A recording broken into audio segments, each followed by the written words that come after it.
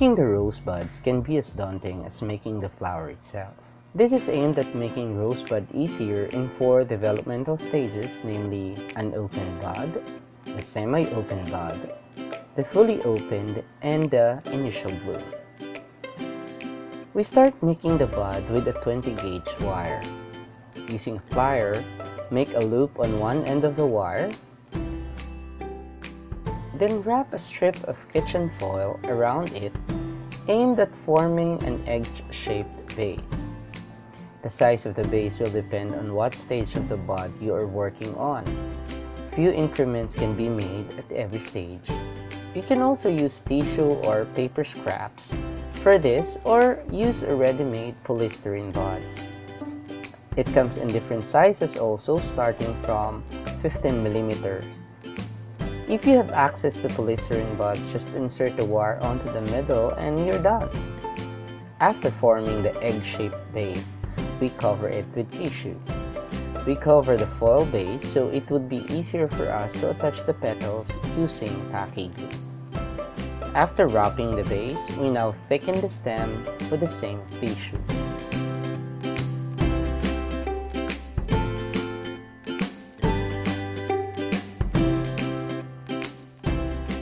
This is how your base should look like. At the end of the course of this tutorial, we'll need 4 sizes of this base with few increments in size. As you can see, I have here an increasing size of the base for all 4. To make the unopened bud, we need a piece of crepe paper that is enough to cover the base. I'm using red but you can choose any color that you want. Fold it into two so that you'll have a free part. Cut the shape starting from the middle, two-thirds down the grain. It will look like this. Then, slightly cup each part using your thumb and index fingers. Dab some glue and attach to the base, starting from the middle petal. Do this until all three petals wrap the base. Pinch the tip as you work along so that you get a good cover.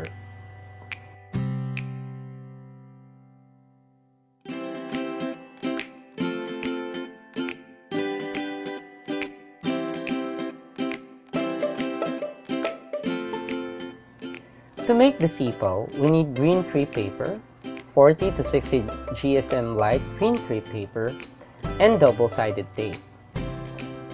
To do this, stick the double-sided tape from one end of the crepe paper up to the opposite end.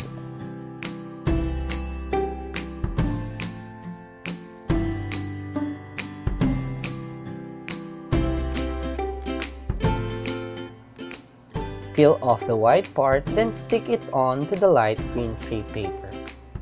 We now have a two-sided crepe paper.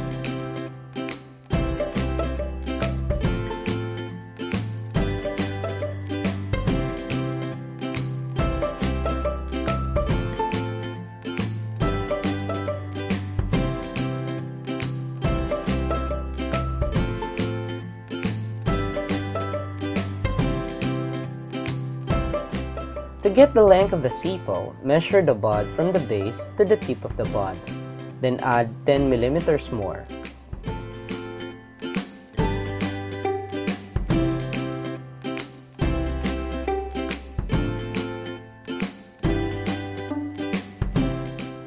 Cut 5 small strips, one of which must be longer than the other 4.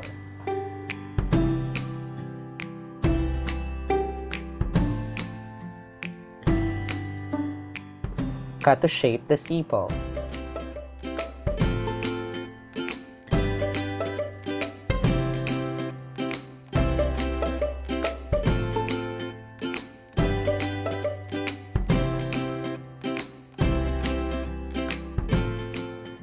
One of the sepals should have a bract on the tip. Serrate the edges using a curved scissor.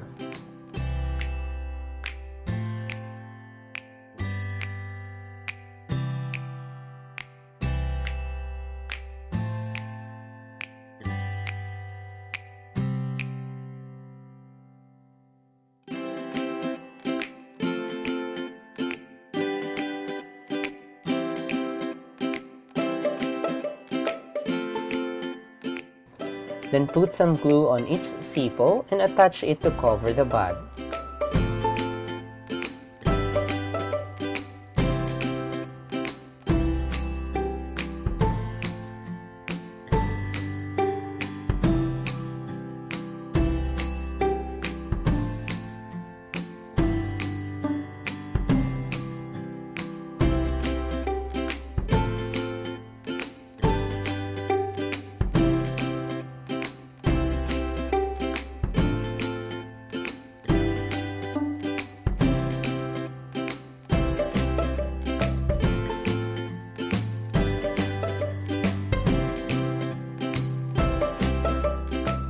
Now we have covered the bottom. Get a strip of crepe paper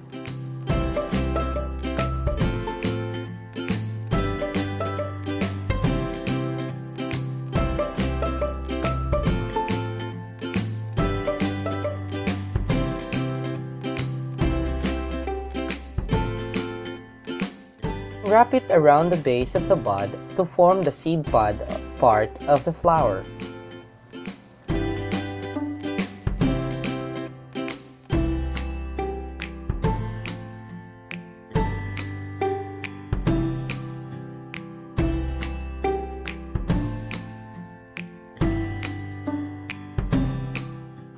Afterwards, cover it with florist tape from the seed pod drop down to the other end of the wire.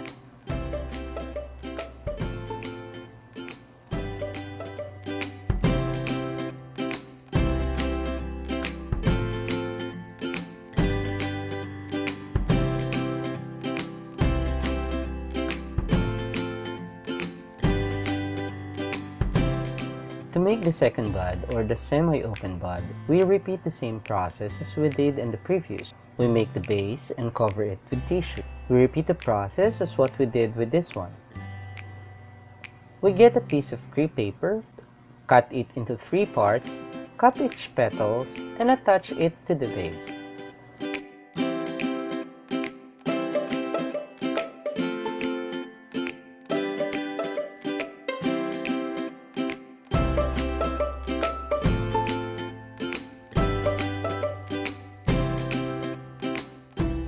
Now, we'll add two more petals to the bud to make a difference from the first one. Fold the crepe paper and cut out a teardrop shape.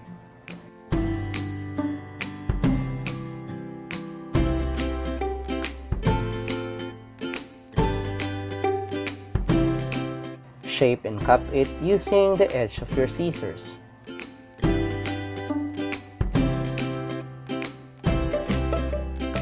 Put some glue and attach it to the bud.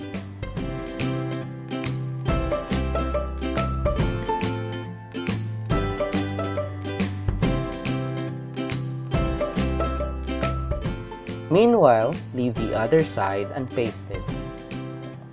Now dab glue on the other petal and attach it.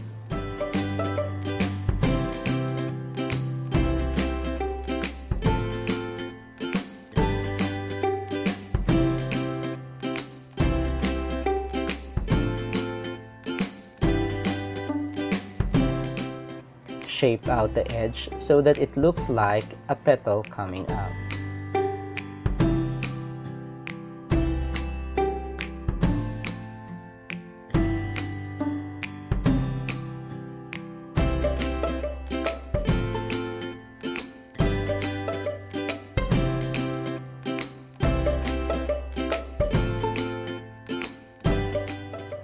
Afterwards, add some sepal.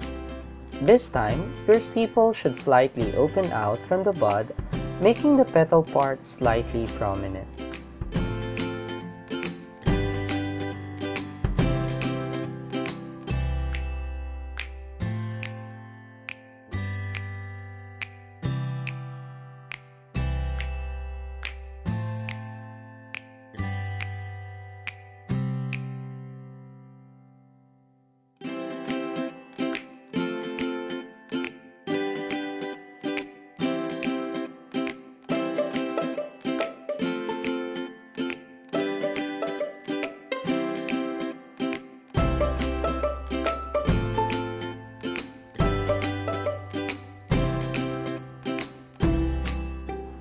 When all sepals are attached, cover the base with a strip of crepe paper.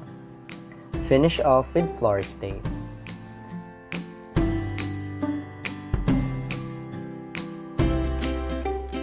Now let's check the difference between the two.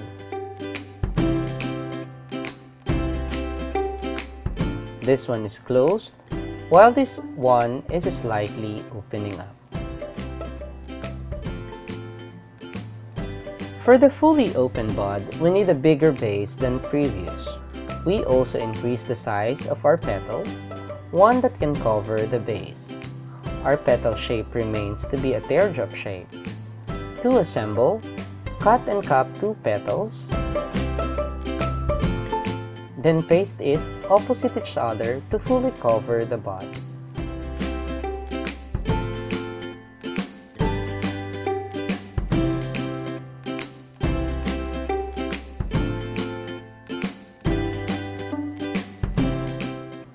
Cut and shape three more petals. With slight shaping on the lip of the petals, cup, put glue, then attach them to the bud.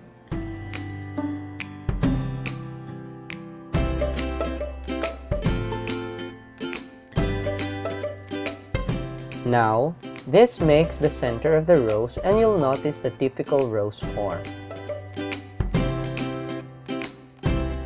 Next, we make the first layer of the middle petals. Your petal size is now a bit bigger than the one you used to form the center. Shape the lip of the petal using the edges of your scissors, cup them, and paste it to the bud.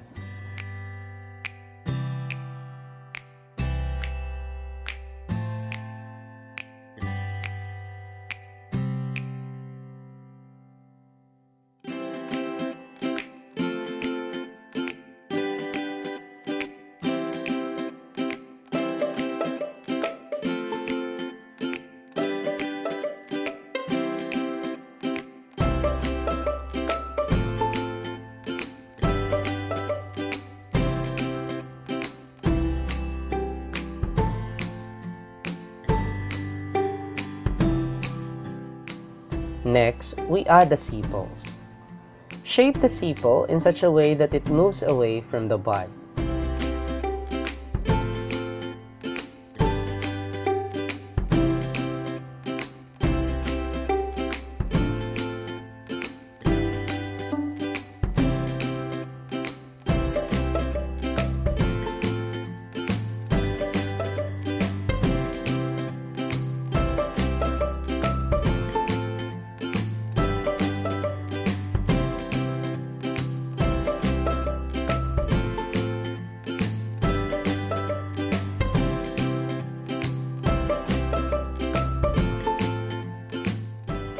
Afterwards, wrap the base with a strip of crepe paper.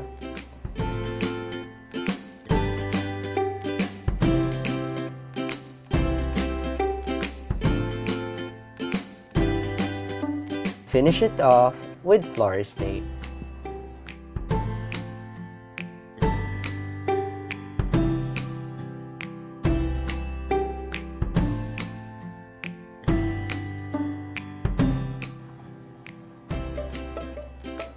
We are now down to the initial bud. Start off with the base and prepare the same materials we used for the fully open bud. That is, we attach two petals opposite each other, then add three petals to finish the center.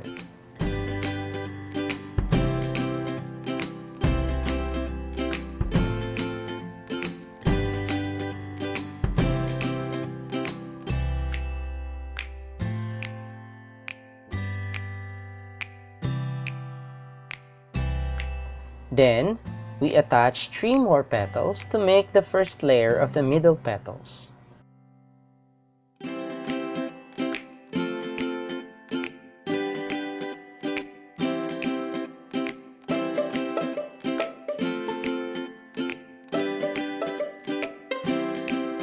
Add another two or three more petals to finish.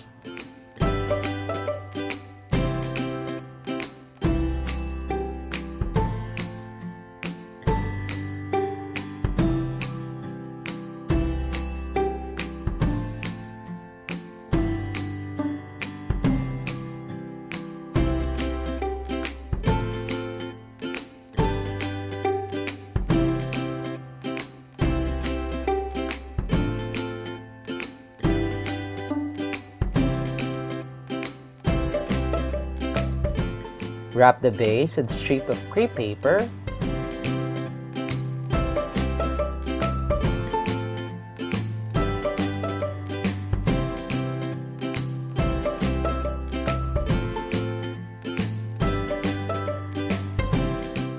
To make the sepal for the initial bloom, cut a piece of crepe paper 40 mm along the grain.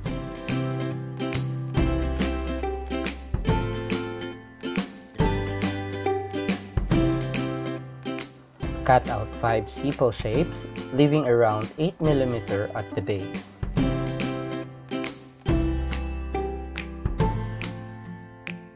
Then, shape the sepal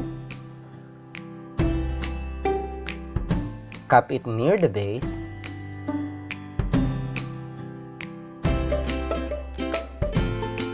Put some glue and attach it at the base of the bud. Distribute the sepals evenly as you attach it to the bud. And finish off with florist tape.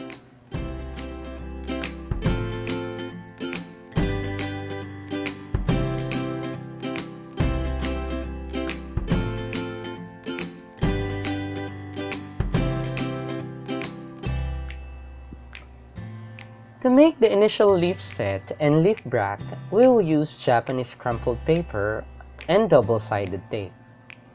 From one end, stick the tape up to the other end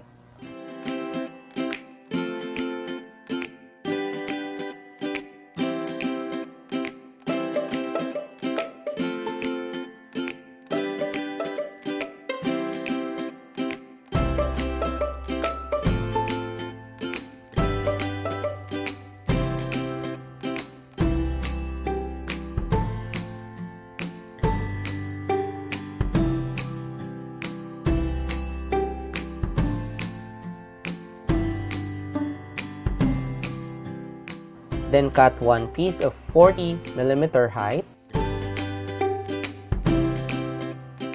two pieces of 15 mm, and one piece of 50 mm. Peel off the white portion of the tape and put 26 gauge wire in the middle of the tape. Fold the other half and press it down.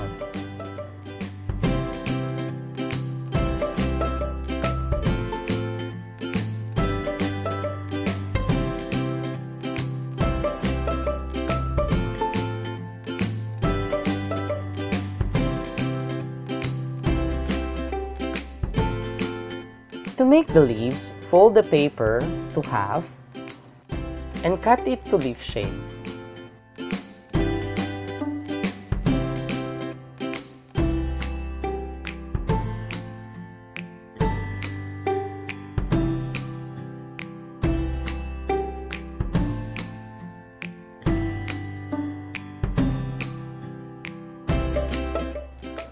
Using a curved scissor, add details at the edges of the leaf.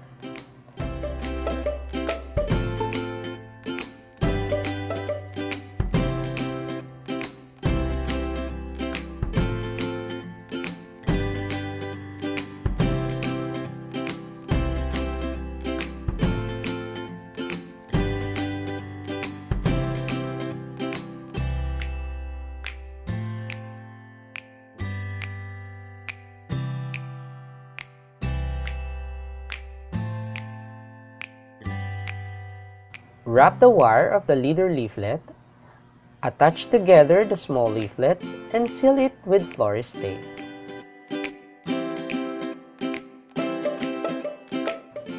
Then, we prepare the leaf bract.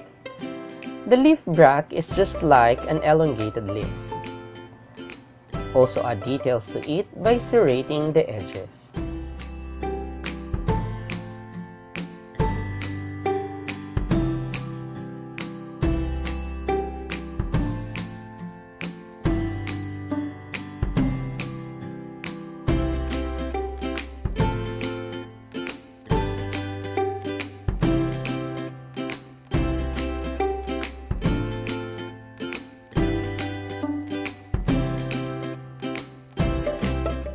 There you go! We have now finished 4 bud stages along with other details such as sepals, leaf bract, and initial set. Don't forget to hit the subscribe button below and press the bell beside it to receive notification as soon as we post new tutorials. Thank you for crafting with us.